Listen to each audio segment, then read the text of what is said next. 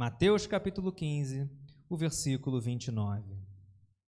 Saindo dali, Jesus foi para junto do mar da Galileia e, subindo ao monte, assentou-se ali. Feche seus olhos. Senhor, te agradecemos pela tua palavra, que alimenta, fortalece, renova e edifica a nossa fé. Nesse momento, ó Deus, que saiamos daqui assim, alimentados pela tua palavra, porque abrimos o nosso coração para receber a semente, a boa semente que venha dar o bom fruto, que queremos fazer do nosso coração uma terra fértil.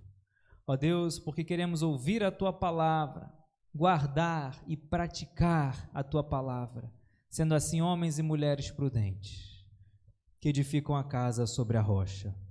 Usa teu servo, toca na minha saúde, na minha mente, no meu coração, na minha garganta, na minha voz Deus, que eu seja instrumento nas tuas mãos, perdoa os meus pecados, os meus erros. Ó Deus, é debaixo da tua promessa, do teu chamado, que eu suba aqui esse altar para entregar a tua palavra.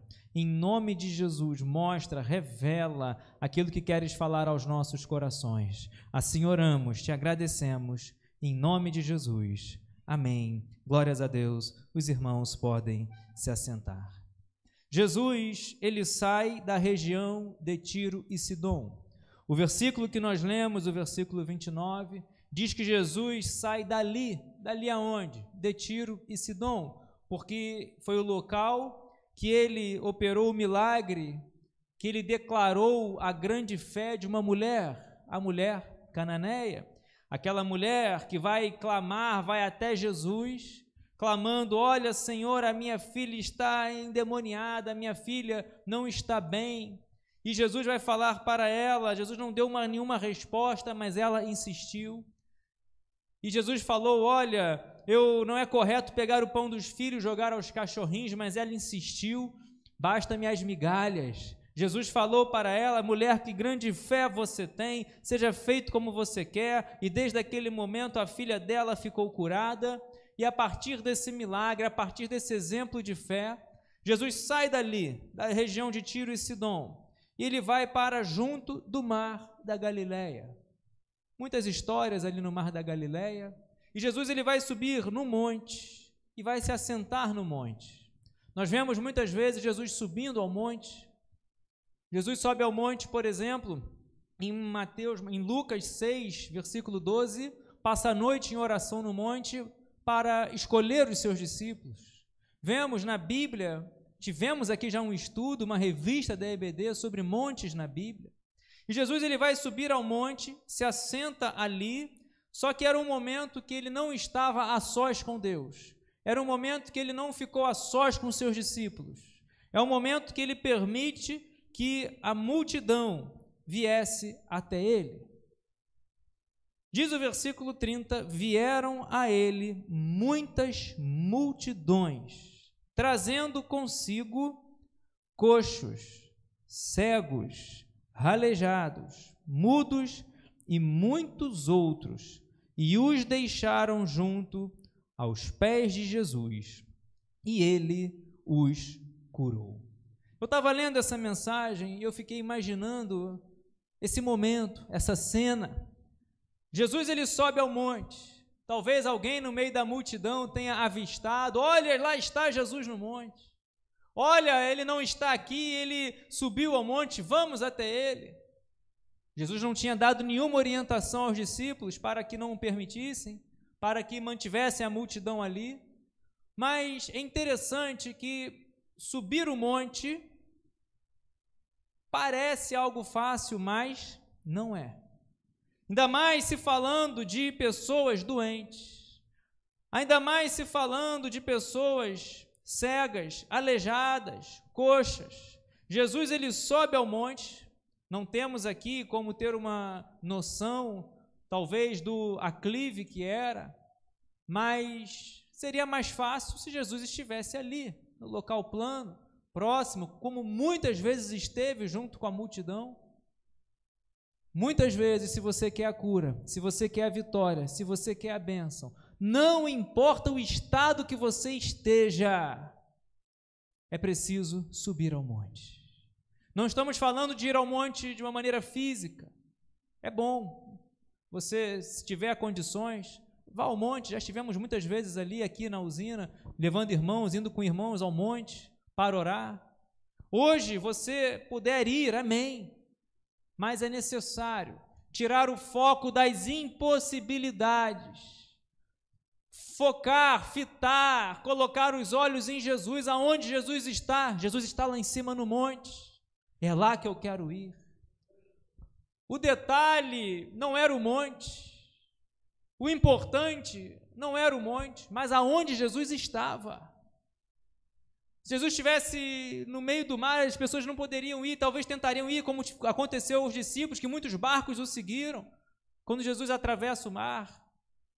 Se Jesus estivesse indo para um jardim, as pessoas estariam indo. Aonde Jesus ia, multidões iam atrás de Jesus. Precisamos entender que essas pessoas, essas multidões, iam até Jesus, viram que Jesus estava no monte, assentado no monte. E eles então começaram a ter fé. Começaram a olhar, olha, no meio de nós tem pessoas necessitadas. No nosso meio tem pessoas enfermas. No nosso meio tem pessoas doentes. E olha só que interessante. Pessoas que eram coxas. Coxo é aquele que faltava alguma parte. Coxo era aquele que faltava um membro do corpo, faltava algo nele. E nós olhamos aqui cegos, pessoas que sozinhas não conseguiriam ver aonde Jesus estava precisaram ser levadas pela multidão. Temos exemplos na Bíblia, por exemplo, o cego Bartimeu estava à beira do caminho, mas quando ele ouviu, ele não podia ver, mas ele ouviu o barulho, o tropel da multidão. Falaram que era Jesus. O que, que ele faz? Ele sozinho não podia ir, porque no meio da multidão não tinha como ver a direção certa de onde Jesus estava. E o que ele fazia? clamava: Jesus, filho de Davi, tem compaixão de mim. Repreenderam ele: Para, não clama não, para de gritar. O que, que ele fazia? Clamava ainda mais: Jesus, filho de Davi, tem compaixão de mim. Um clamor que fez Jesus parar, que fez Jesus falar: chama esse cego. Aí aqueles que andavam com eles, ali com Jesus, no meio da multidão, foram até o cego, levaram até Jesus e o milagre acontece. Ou seja, pessoas que estavam no meio da multidão, que eram coxas, que eram cegas, que eram aleijadas. O aleijado, às vezes, ele tem todos os membros, porém, funções não conseguem ser executadas. Talvez por um problema na coluna, talvez por um problema, é, enfim, de saúde. Então é aleijado, não consegue se deslocar, se locomover de uma maneira correta, de uma maneira saudável. Mudos, pessoas que não conseguiam falar, mas precisaram ser levados, porque mesmo que fossem mudos, talvez já não tivessem fé. Talvez a vida inteira não registra aqui, alguns talvez de nascença, alguns talvez por espíritos imundos, alguns talvez por enfermidades mas foram levados ali pela multidão, mudos, pessoas que não conseguiam falar, e muitos outros. E esses outros abrem um grande leque. Em Marcos, capítulo 2, diz que levavam até Jesus enfermos de todo tipo de enfermidade, leprosos, endemoniados, fluxo de sangue, enfim, e Jesus curava. Jesus tem toda a autoridade sobre a enfermidade. E é isso, quando nós olhamos, trazemos pra, para o lado espiritual, é isso que Jesus, é isso que o diabo quer fazer em nossas vidas.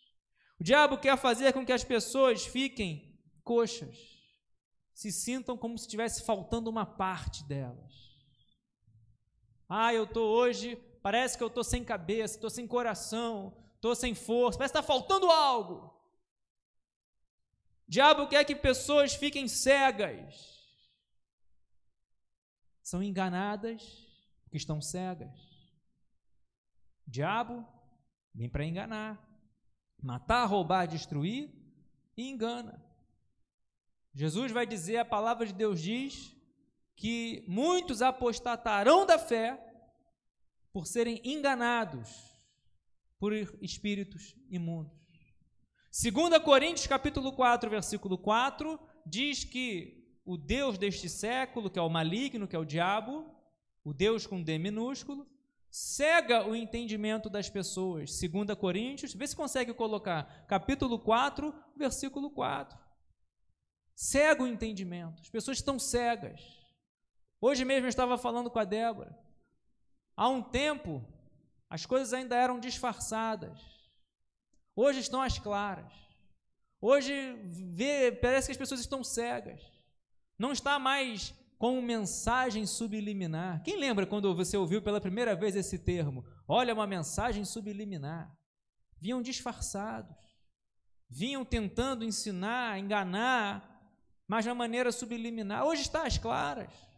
Hoje não precisam disfarçar, hoje não precisam enganar. Está aqui, ó, o Deus deste mundo cega o entendimento dos descrentes, para que não lhes resplandeça a luz do evangelho da glória de Cristo o qual é a imagem de Deus. Então, aqueles que estão cegos, estamos falando de uma maneira espiritual, são enganados, perdem a fé, e o pior, não vai resplandecer a luz do Evangelho da glória de Cristo. E é isso que o diabo tem feito, tem cegado. Está claro, está. Parece que as pessoas estão com uma venda nos olhos. Como assim, pastor? Você está exagerando? É? Há pouco tempo, carnaval, pessoas andando fantasiadas de diabo. Apenas um exemplo. E eu vou parar por aqui. Que o púlpito é para pregar a palavra de Deus. O púlpito é para pregar, pregar as bênçãos de Deus, a palavra do Senhor. E tantos exemplos ruins que eu poderia citar que é claro, é visível, perceptível, aquele que está de pé está vendo, para que não venha cair. Mas o cego espiritual está caminhando na direção contrária da fé e não vai resplandecer a luz do Evangelho da glória de Cristo, que vai proporcionar a salvação. Sabe por quê? Porque a cegueira ela traz a ideia de escuridão, traz a ideia de trevas. Só que Jesus disse: eu sou a luz do mundo. Aquele que está em mim, aquele que anda comigo, não andará em trevas. Diabo quer cegar, mas Jesus vem para te dar visão, visão do alto, visão da fé. E ele diz aqui: então tinham pessoas no meio dessas multidões e eram coxas que faltava algo. Se você acha que está te faltando algo, ah, está faltando um amor não correspondido, está faltando algo material, está faltando alguma coisa para preencher seu vazio do seu coração. Se você está talvez coxo, se você talvez se sente cego, talvez aleijado, você quer andar e não consegue. Você quer ficar ereto e só consegue ficar torto. Estamos falando espiritualmente. Você quer se levantar, servir, vir à igreja, trabalhar como nunca trabalhou para o Senhor, porque você sabe que a nossa nosso trabalho no Senhor não é vão, não é à toa, não é vazio, não é oco. Mas se sente aleijado. Talvez por causa das tormentas, das, do deserto, das provações, das dificuldades. Talvez você esteja mudo, quer falar, quer pregar, quer proclamar, mas fica tímido, fica com medo. Cuidado, os tímidos não herdarão o reino dos céus. É para pregar, é para falar, é para proclamar, é para fazer dos seus lábios, da sua boca, instrumento de salvação, de bênçãos. Não é para ficar mudo. Quem quer que a gente fique assim é o diabo. E muitos outros problemas. E muitas outras dificuldades. Que talvez não tenham sido listadas aqui, mas talvez você esteja passando. Ou conheça alguém que está passando. Dúvidas, momento de fé pequena, pequena, momento de incredulidade, momentos difíceis, momentos que talvez esteja quase perdendo para a carne, você sabe que tem uma guerra entre a carne e o espírito. Mas essa multidão, alguém viu, viram que Jesus subiu o monte, assentou, e não ficaram olhando para as impossibilidades, não ficaram esperando, não ficaram dando bobeira, não ficaram, olha, deixa eu esperar Jesus descer, olha como é que vai dar trabalho, eu sou cego, vou ter que pedir para alguém me levar. Eu sou coxo, está me faltando algo, eu sou aleijado, eu sou mudo, e começa a olhar desculpa. Deixa Jesus, espera Jesus descer do monte. Deixa ele, talvez esteja orando. E se Jesus descer pelo outro lado do monte? Precisamos ir até Jesus. Não importa a situação que você esteja, o Todo-Poderoso é o Shaddai, aquele que tem toda a autoridade, está aqui para curar, para libertar, para mudar a história, para fazer você sair saltitando, dando salto de alegria, dando salto de renovo, sair com um novo cântico nos lábios, com a sua bênção, com a sua vitória, que o diabo tanto luta para tirar de nós. Desiste não, irmão. E aqui nós vemos que essa multidão, diz o versículo 30, levaram com elas pessoas enfermas, todo tipo de enfermidade. E o que, que eles fizeram? Deixaram junto aos pés de Jesus. Olha que interessante. Começaram a chegar ali pessoas aleijadas, pessoas cegas, mudos foram deixando aos pés de Jesus. Quando Jesus não estava ali no monte, quando Jesus estava no meio da multidão, iam até Jesus de diversas maneiras. Alguns escondidos, mulher do fluxo de sangue, se apenas tocar, né, e se foi por baixo da multidão. Zaqueu sobe numa árvore para conseguir ver Jesus. Cego Bartimeu, Senhor, tem compaixão de mim, Jesus, filho de Davi. Só que aqui, essa multidão chega até Jesus. Não há o registro de uma palavra, apenas que deixaram junto aos pés de Jesus. Talvez pensaram, não vamos incomodar o mestre. Talvez pensaram, pode ser que tenha tido algum diálogo. Olha, Senhor, vamos deixar aqui os enfermos para serem curados. Não sei. Mas o que eu sei é que eles foram e deixaram aos pés de Jesus. Eles venceram, subiram, não ficaram olhando para as suas impossibilidades, para as suas enfermidades, não ficaram olhando para as suas mazelas, subiram, se esforçaram, subiram ao monte, foram ter o um encontro com Jesus e o principal, chegaram e deixaram junto aos pés de Jesus. Eu posso ouvir um glória a Deus? O lugar mais alto que nós podemos chegar é aos pés de Jesus. É se humilhar. Quantos se prostraram aos pés de Jesus? Sendo samaritanos, sendo romanos, sendo gentios. E hoje você pode fazer isso. Se prostrar aos pés de Jesus. O meu desejo nessa mensagem, ainda que objetiva, mas que seja feita, que seja não apenas escutada, não apenas ouvida, mas que seja praticada. É entender que nós não podemos ficar olhando para os problemas e enaltecendo os problemas. Ah, isso vai me impedir de ir ao monte. Isso vai me impedir de ir até Jesus.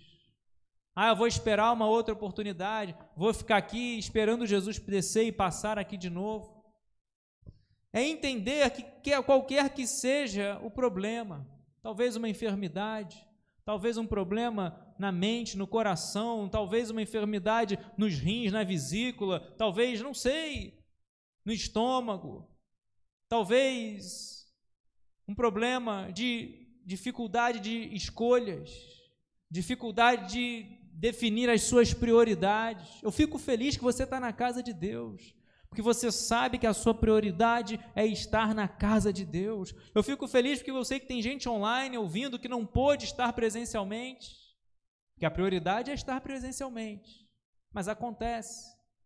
Mas está ouvindo em casa a palavra de Deus, está cultuando. Alegrei-me quando me disseram Vamos à casa de Deus. É entender que as nossas dificuldades, talvez cegueira, enfermidades, doenças, adversidades, o que, que nós temos que fazer e qualquer outra que seja, ir até Jesus, se esforçar, fazer a sua parte e colocar aos pés de Jesus. A amada igreja está entendendo, é colocar aos pés de Jesus. Você vai fazer a sua parte, você vai vencer. Jesus vai olhar a tua fé. Você não vai ficar dando desculpa, ah, mas eu sou aleijado, não vou subir, não vou até Jesus, ele está lá no alto. Vai até Jesus. Você vai fazer a sua parte, vai colocar aos pés dele. E o versículo 30 encerra dizendo: e ele os curou. Sabe o que, é isso? Você vai vencer essa dificuldade. Eu profetizo na sua vida. Você vai vencer essa dor. Você vai vencer esse medo. Você vai vencer essa dúvida. Você vai vencer que Deus está te renovando, está te equipando com a armadura que Deus te dá nessa noite. Vai recebendo, vai fortalecer. Você não vai esmorecer. Você vai vencer. Você vai chegar lá, vai colocar aos aos pés de Jesus a sua dor, o seu problema, o seu medo, o seu receio, a sua dúvida, a sua dificuldade. É Ele que cuida de você, é o teu pastor, nada vai te faltar, é o teu provedor, é o El Shaddai, é o Jeová Rafa, o Deus que cura, é a sua bandeira e Ele vai curar, Ele vai sarar, Ele vai resolver o seu problema. No tempo dele, na hora dele no momento dele. Mas temos que ter atitudes de fé. Às vezes nós lemos a Bíblia, três versículos, 29, 30 e 31, e tantos detalhes riquíssimos passam que a gente nem percebe. Olha só, vão até Jesus. A multidão, creio que talvez ali um ajudando o outro, sem egoísmo. Talvez aquele que fosse só mudo, deixasse todo mundo para. Não, mas eu creio que foram um ajudando o outro, um levando o outro, porque diz que multi... as muitas multidões trazendo consigo. Sabe o que isso? É você olhar para o lado. Tem alguém fraco? Eu vou levar comigo. eu vou levar comigo. Desvia não. Sai da igreja não. Sai da presença não. Eu levo nos ombros, mas você vai comigo. Você vai até Jesus. Não vou deixar você sair da presença. Não vou deixar você se desviar. Não vou deixar você perder essa bênção. Tem que levar consigo seu irmão. Tem que levar. Jesus os curou deixaram junto aos pés de Jesus. E muitas vezes erramos, falhamos, porque não deixamos aos pés de Jesus. Não vamos aos pés de Jesus. Porque ir aos pés de Jesus é se humilhar. Nós vemos o centurião romano, por exemplo, nós vemos tantos né, eh, se humilhando aos pés de Jesus não se preocupando com o estereótipo de religiosidade. Ah, eu sou um fariseu, eu sou um romano, eu sou um. Mas vai aos pés de Jesus, se prostram, adoram, mas recebem a fé, recebem a cura, recebem a salvação. Aquela mulher do fluxo de sangue já foi, se eu apenas tocar, não era na cabeça, não era no ombro, na orla, na borda das suas vestes foi vencendo a multidão, foi tentando ir ali, talvez abaixada, rastejando, não sei, mas foi. Temos que ir até Jesus. E muitas vezes erramos, falhamos porque não temos fé de deixar, de lançar sobre Ele as nossas ansiedades, de lançar sobre Ele os nossos medos. Temos que lançar sobre Ele as nossas ansiedades porque é Ele que cuida de ti, é Ele que cuida de você. Lança aos pés do Senhor o seu medo, a sua preocupação, a sua dor. E diz que Ele os curou, Ele vai operar o milagre, Ele vai responder. Talvez não como nós queremos. Você vai, lança nas mãos dele, nos pés dele, coloca sobre ele a sua necessidade. Às vezes a resposta é sim, mas talvez daqui a algum tempo. Às vezes a resposta é aguarda, às vezes a resposta É não. O nosso não. Porque para ele sempre é o sim, é a vontade dele, que é o que para nós? Boa, perfeita e agradável. Então colocamos sobre ele os nossos problemas, ele vai curar, ele vai agir, ele vai mover o sobrenatural. É a porta abrir, Deus vai abrir, Deus pode abrir, é a cura, Deus vai curar, ele pode curar. É seja qual for a natureza das nossas, nossos problemas, das nossas necessidades. Coloca, confia e o mais ele fará. Salmo 37, versículo 5. Entrega o teu caminho ao Senhor confia nele e o mais ele fará. E para encerrar, versículo 31. O povo ficou maravilhado ao ver que os mudos falavam, os aleijados recuperavam a saúde, os coxos andavam e os cegos viam e glorificavam o Deus de Israel. Cadê a igreja glorificando o Deus de Israel? Eles ficaram maravilhados, subiram enfermos, subiram doentes, subiram aleijados, subiram cegos, subiram mudos, mas desceram desceram recuperados, desceram curados, desceram com um milagre acontecendo, porque o povo ficou maravilhado ao ver. Sabe o que, que é isso?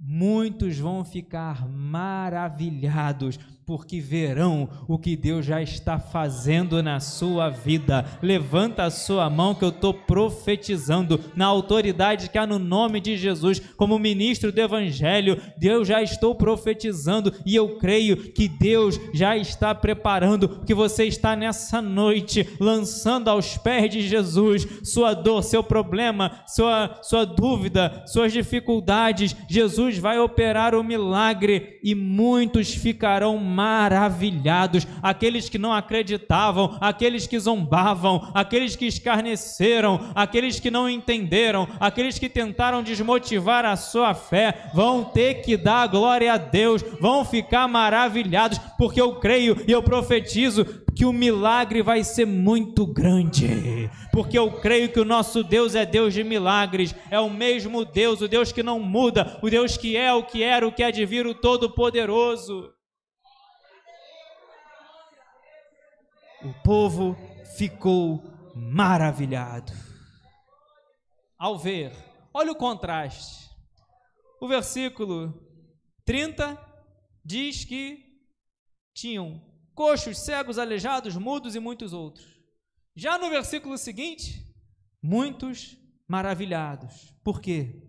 Os mudos falavam, os aleijados recuperavam a saúde, os coxos andavam e os cegos viam e glorificavam o Deus de Israel. Eu creio que em pouco tempo, em curto espaço de tempo, você vai subir nesse altar, vai testemunhar para a glória de Deus. A glória é de Deus. O poder dele se aperfeiçoa na nossa fraqueza. Você vai testemunhar, para falar, para anunciar, porque muitos verão, muitos ficarão maravilhados com o que Deus tem feito e vai fazer na sua vida.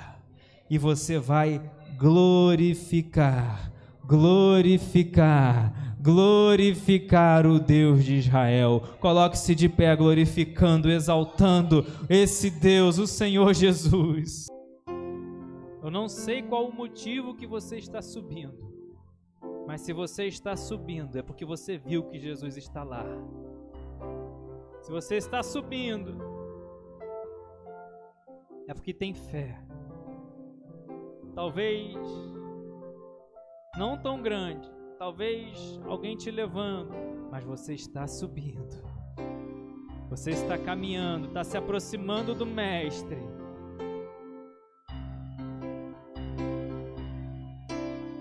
Talvez esteja escutando, você é cego não vai chegar lá. Você é coxo não vai chegar lá. Você é aleijado não vai chegar lá. Mas você está subindo. Você está cansado, mas está subindo, está chegando aos pés de Jesus. milagre aconteceu. O povo, as multidões ficaram maravilhados. O cego via, o mudo falava. Voltou enxergando, voltou falando, louvando, adorando o Deus de Israel. Coxo, saúde restaurada. O aleijado, saúde restaurada, andava ereto. Deus quer te colocar na posição certa. Coloque aos pés de Jesus nessa noite. Ó Deus, em nome de Jesus oramos. E colocamos nesse momento nossa vida aos teus pés, nosso coração.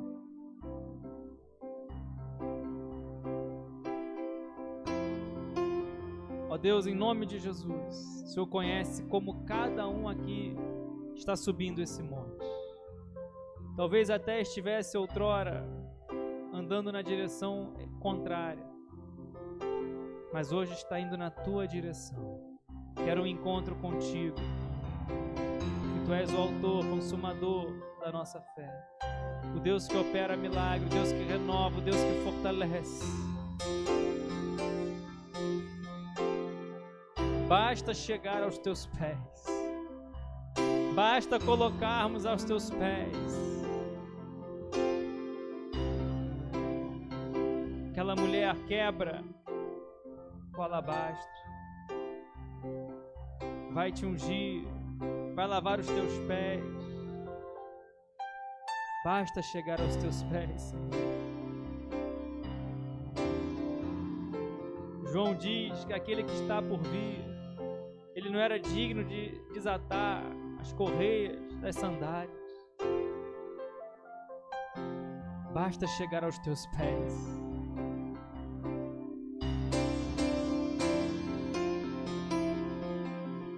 Que assim nós cremos, ó Deus. Que ao chegar aos teus pés, o Senhor vai olhar, contemplar a nossa fé. vai operar aquilo que ninguém pode fazer. Vai fazer um milagre. Obrigado, meu Deus. Em nome de Jesus, eu coloco nas tuas mãos cada vida, cada coração, cada petição. O Senhor venha operar o milagre. O Senhor venha curar, endireitar, fazer tudo novo que assim possamos avançar. Aquele que estava cego vai enxergar com os olhos da fé. Aquele que estava, Deus, talvez coxo, paralítico, não conseguia, mas agora vai conseguir. Vai trabalhar, vai zelar na tua casa, vai, ó Deus, ser um trabalhador, um obreiro aprovado. Obrigado, Deus, por tudo. Assim oramos, te agradecemos. No nome santo de Jesus. Amém. E amém. Aplauda bem forte o nome do Senhor.